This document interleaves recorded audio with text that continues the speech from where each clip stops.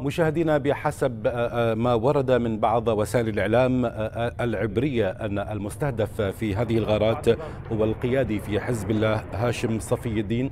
لكن لم ترد معلومات مؤكدة حتى هذه اللحظة وبالتأكيد ستأتي المعلومات عبر مصادرنا في بيروت عن نتائج عملية القصف. فيما لو كان هناك قادة من حزب الله يعني مستهدفون في هذه العمليات أم لا لكن من الظاهر أن حجم الدمار الكبير جدا أكبر من استهداف عدد من القادة. هناك منطقة يعني آهلة بالمدنيين السكان وفي هذا الوقت بالذات يعني في يعني بعد منتصف الليل تكون هذه المناطق يعني آهلة بعدد كبير من السكان الذي قد يرفع عدد الضحايا ضحايا العدوان الصهيوني إلى أرقام كبيرة جدا.